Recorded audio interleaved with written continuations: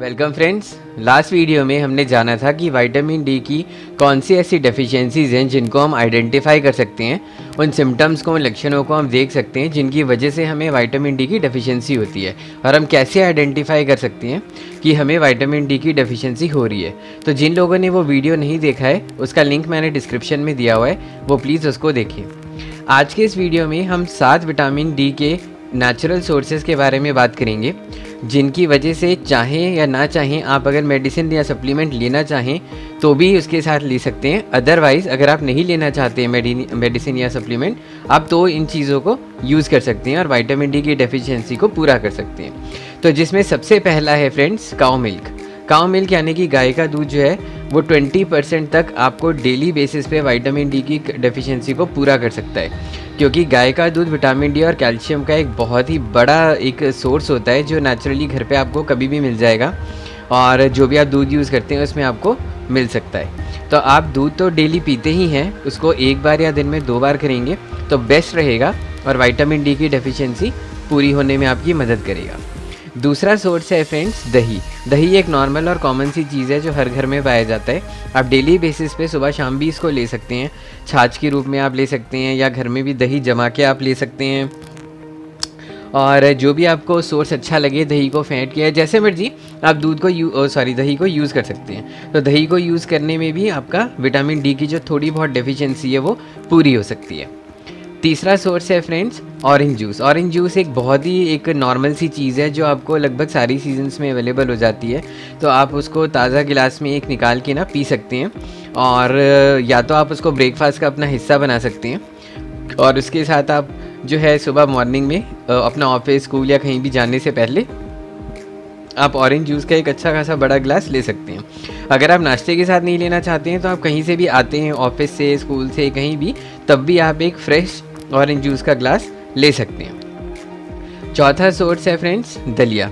दलिया और ओट्स का आजकल आपने टीवी में बहुत एडवर्टाइजमेंट देखा होगा कि डेली बेसिस पे बहुत एडवर्टाइजमेंट्स आ रहे हैं ओट्स और इन सब चीज़ों के। तो ये सबसे एक अच्छा ब्रेकफास्ट मेन्यू होता है कि सुबह जो है, उसके बाद पूरे दिन में भाग दौड़ करने के लिए आपको एनर्जी ज़रूर चाहिए होती है। तो इसलिए आप क्या कीजिए कि आप डेली ब्रेकफास्ट में कोशिश कीजिए कि दलिया जो है, वो आप ज़रूर लें। दलिया लेने से आपको नेचुरल फाइबर्स और नेचुरल जो है विटामिन डी की डेफिशिएंसी पूरी करने में आपकी मदद करेगा। और काफ़ी अच्छा ब्रेकफास्ट और बढ़िया ब्रेकफास्ट भी हो जाता है। पूरे दिन में, पूरे दिन भर में आपको अच्छी खासी एनर्जी रहेगी। उसके बाद अगर आप मशरूम्स वगैरह लेना चाहें तो आप मशरूम्स ले सकते हैं। मशरूम्स को पूरा जो है, दिन में एक एक दो बार लेने की कोई ज़रूरत नहीं है। पूरे वीक में एक या दो बार मशरूम की सब्ज़ी बना के खा सकते हैं। चाहे तो आप ग्रेवी में बना के खा सकते हैं या बॉईल करके खा सकते हैं, जैसे भी आपको सूट करे।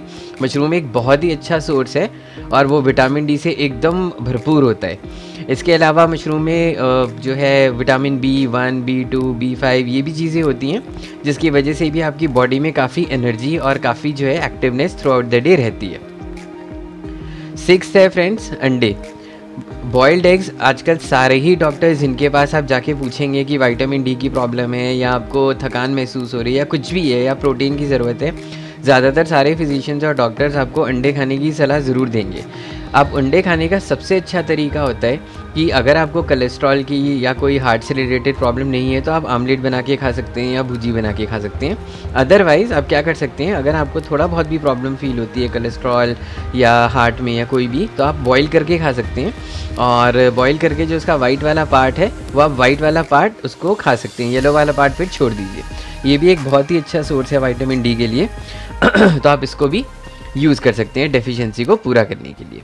सातवां और लास्ट है फ्रेंड्स फैटी फ़िश हालाँकि जो नॉनवेज वगैरह खाते रहते हैं, उनके लिए तो फ़िश वगैरह ठीक है, क्योंकि फ़िश जो है हाईएस्ट सोर्स ऑफ़ प्रोटीन होता है, उसमें ओमेगा थ्री फैटी एसिड्स वगैरह भी होती हैं।